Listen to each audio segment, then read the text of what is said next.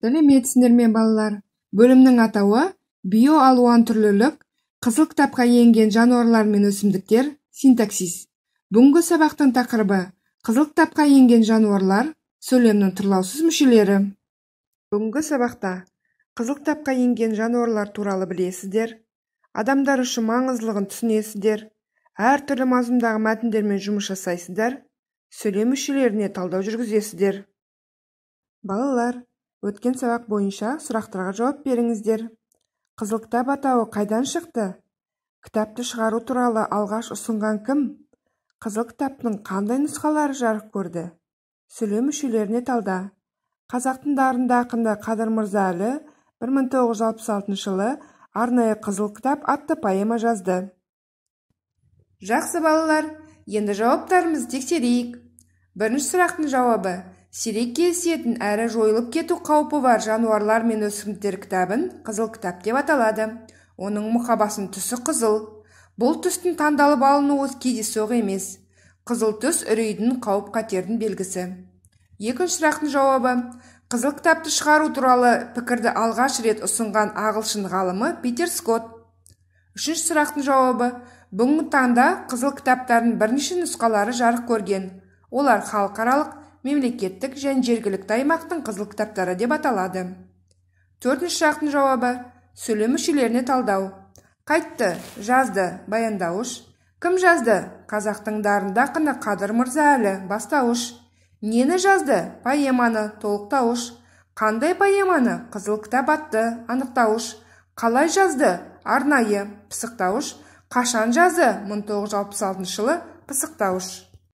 Берілген мәтінді оқыңыздар.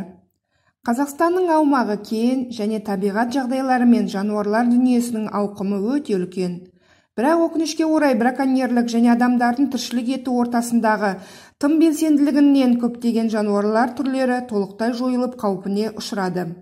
Бүгін қазақстанның қызыл кітабына қырық жануар кірген. Жоғалу саны азаюына байланысты оларды бірнеше санатқа бөлген. Бірінші санат жоғалып бара жатқан немесе мүмкін жоғалып кеткен. Екінші санат апатты түрде қысқарып бара жатқан. Үшінші санат сирек кездесетін саны аз табылған. Төртінші санат белгісіз толық зерттелмеген. Бесінші санат тұрақты бақылауда қажет ететін жерсіндірілген жануарлар. Балалар мәтін бойынша тапсырмаларды орындаңыздар. Мәтін қай стильде жазылған? Мәтінге тақырып қойыңыздар. Мәтін түрін анықтаңыздар.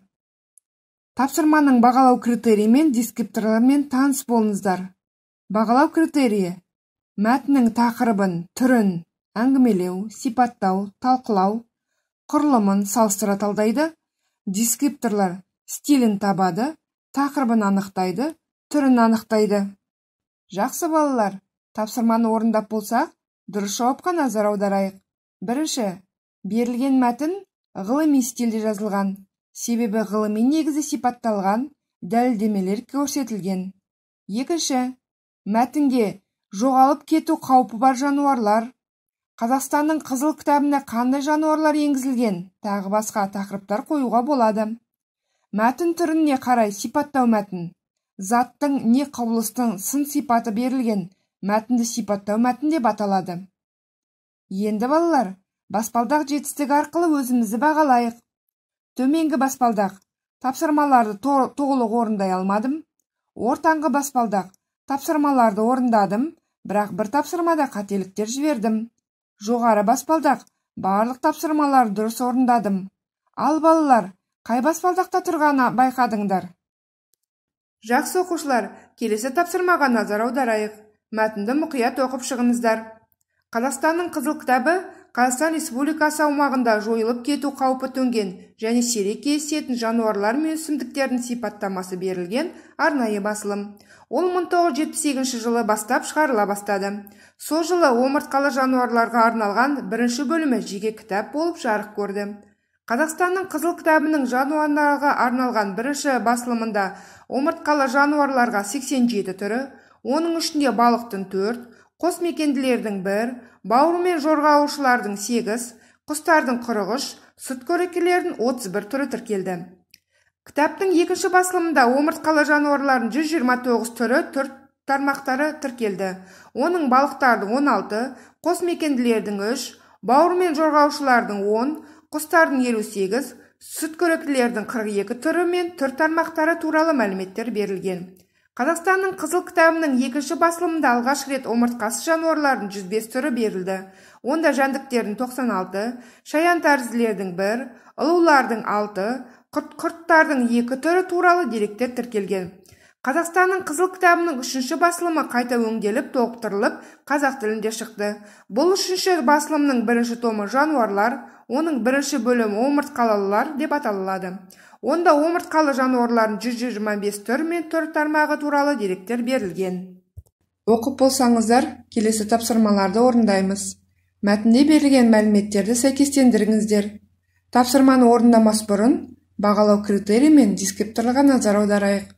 Бағалау критерийі ғылыми және публицистикалық стильдегі мәтіндерден алынған деректерді дәлел ретінде қолданады.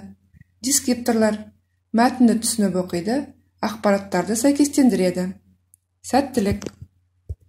Жақсы оқушылар орындап болсақ онда тексерейік. Бірінші кітаптың екінші басылымына омыртқалы жануарлардың қанша түрі тіркелді? 129 екінші кітаптың екінші басылымында алғаш рет омыртқасы жануарлар түрі берілді. 105 үшінші үшінші басылымда омыртқалы жануарлардың түрі. 125 төртінші бірінші басылымда сүтқоректілер түрі. 31 бесінші екінші басылымда құстардың түрі 58 балалар енді сандар сөйлейді әдісі арқылы өзімізді бағалайық. Кімде қанша дұрыс жауап бар? бір төмен екі талпын үш орташа төрт жақсы бес жарайсың. Жарайсыңдар балалар келесі тапсырмаға назар аударайық. Балалар семантикалық картаны толтырамыз.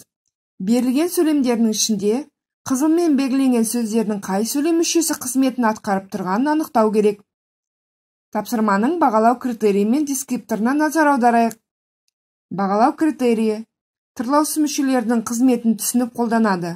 Дескрипторлар толықтаушы бар сөздерді табады анықтаушы бар сөздерді табады пысықтаушы бар сөздерді табады. Ал енді тексерейік.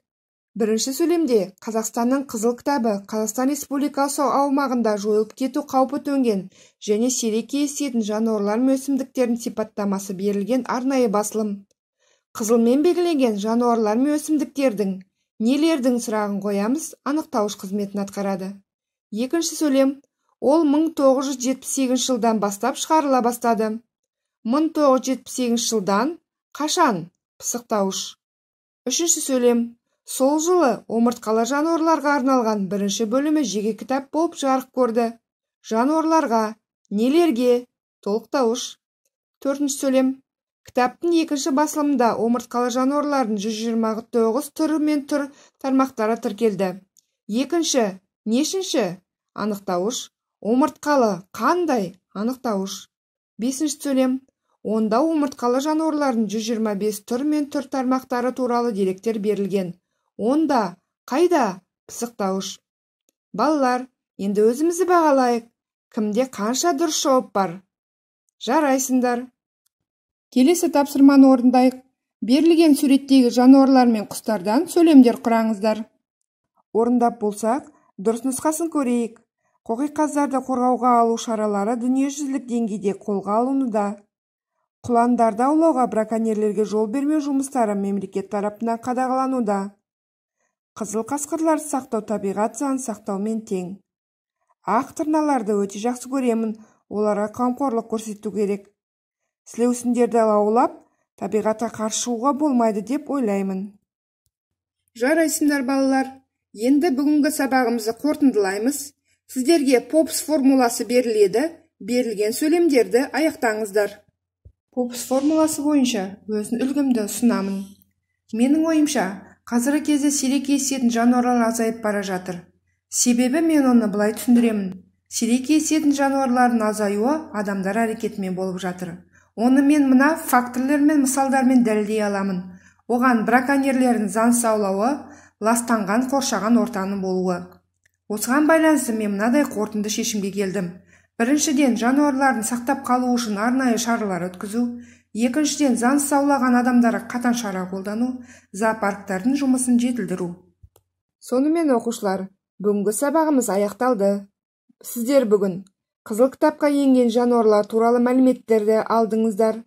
Әртүрлі мазмұндағы мәтіндермен жұмыс жасадыңыздар. Сөйлем мүшелеріне талдау жүргіздіңіздер жақсы балалар үйге берілетін тапсырма. Жоғалып кету қаупі бар жануарлар тақырыбында оларды қалай сақтау керектігі жөнінде өз ережелеріңді жазыңдар. Бір сөйлемді сөйлем мүшелеріне талдаңдар. Сау болыңыздар.